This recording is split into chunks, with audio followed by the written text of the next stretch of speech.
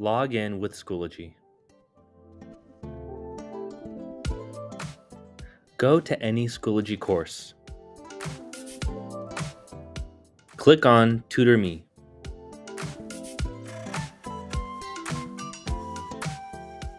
Scroll down and click on Get Started.